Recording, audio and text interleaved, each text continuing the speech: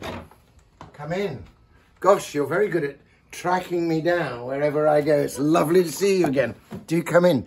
Well, this is astonishing. Hello. I am the guest here of the amazing Phil Keaggy, whom I'm happy to say I've come to know because of our mutual love of C.S. Lewis and pipes.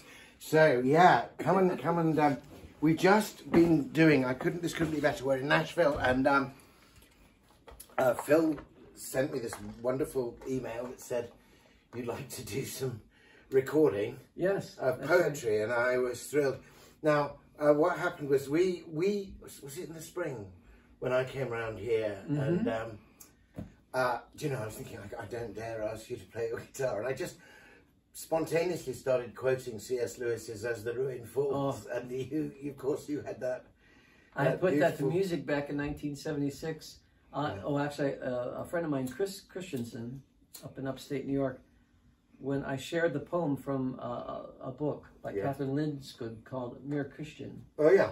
Uh, the poem just really touched me. Yeah, no, I think it's almost his best poem. It's, it's beautiful. Um, and, you know, that whole relationship with joy. I mean, he's already a profound man, but it deepened him and it brought, yeah. drew things out of him that... Absolutely. And, and a friend never of, otherwise have been there. Oh yeah, yeah, yeah. So my friend Chris, he said you need to put this to music. So I put it to music, and it ended up on my second album called Your Love Broke Through. Yeah, Love oh, it's through. just gorgeous. So you know, it, it's a dream come true that that you might put any of my poetry to music. That's just just fantastic. I love your poetry, especially when you are yourself reciting your poems. Yeah and your sonnets and, and yeah. just beautiful. Well, I always feel when we hear the, some of the books we've been using, here's some of my poetry books. Um, yes. But uh, I don't think poetry lives on the flat page like that any more than music lives in the notation. Uh -huh. I think a poem has to be breathed into the air. It has to kind of shimmer into being as, as sound exchanged yeah. in the one atmosphere between yeah. people. Mm -hmm. So I've just been reading poetry at a, at a conference here in, in Nashville. I was poet in residence for a a conference called Sing, I've done all that. But this is the this is more than the icing on the cake. Oh, this is great. the whole cake, as the far cherry as I'm top. concerned. Yeah. um, so we've done some poems um, from David's Crown. We've done some of my poems on the um, on the Passion of mm -hmm. Christ. Uh, but we couldn't not do something about C.S.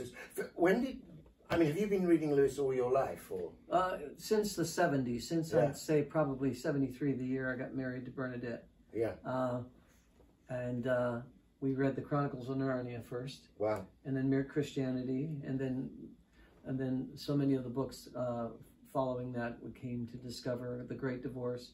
And many yeah. thanks to Andrew Lazo Oh yes, Andrew's given you that beautiful edition. edition I, of the Great Divorce that, Great that you Divorce. put into my hands last Sunday morning. So yeah, and yeah, so we've got a common love of not only Lewis but Lewisiana, as you yeah. might say, the things. So um, anyway, um, the other one of the joys for me has been, you know, just the sound in the studio, and that I'm just admiring it from afar. That Olson guitar is just mm-hmm. a work of art in itself. Yeah resonant and ready to be sounded into song. Anyway, here we are. We're not in a library no. anymore, but we're in a studio. And I think there's a lot of similarity, actually. You know, my mm-hmm. library has, as it were, the hidden wisdom and beauty of all the books sleeping on the things. And I take one out and play it for you. But of course, this studio is full of sound. It's full of the the, the, the recordings and the, the, the, files and the CDs mm. you know, over the years and the instruments over there. Yeah. the drum kit. And um, and in my, you know, these little spells in the library, I take I take a, a book out mm -hmm.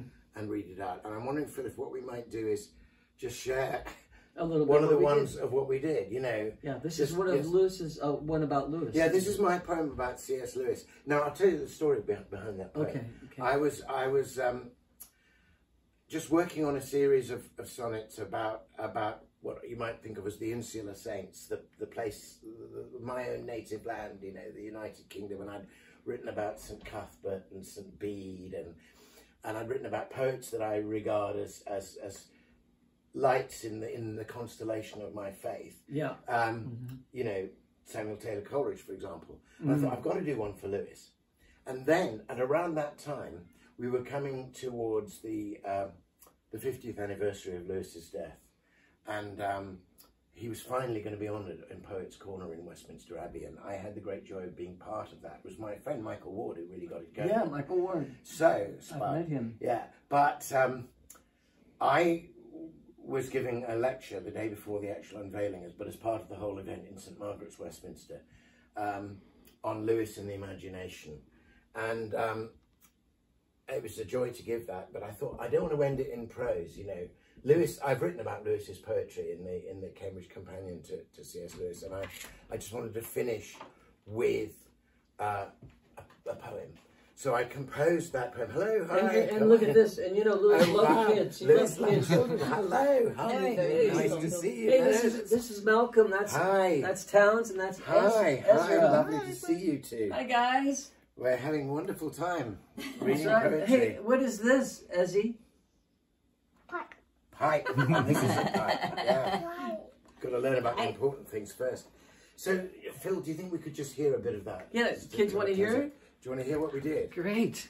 This is just a little draft. Here we go.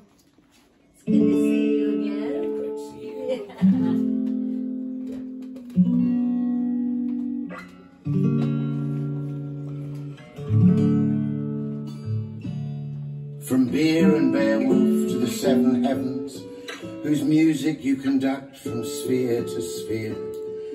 You are our portal to those hidden havens, whence we return to bless our being here. Scribe of the kingdom, keeper of the door which opens into all we might have lost. Word of a word hoard in the deep heart's core, telling the tale of love from first to last. Generous, capacious, open, free, your wardrobe mind has furnished us with worlds through which to travel, whence we learn to see along the beam, and hear at last the heralds, sounding their summons through the stars that sing, whose call at sunrise brings us to our King. Oh,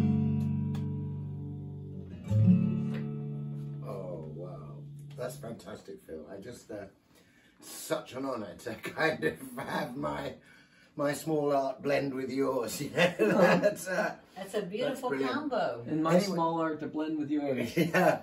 So fantastic um, that you were able to make it to our spell in the library, and this was a spell in the studio instead of, a, but it's a library of sound, and it's great to to, Yeah. to have you here. So uh, Thanks so for visiting us, yeah, Malcolm. Thanks, thanks for dropping by.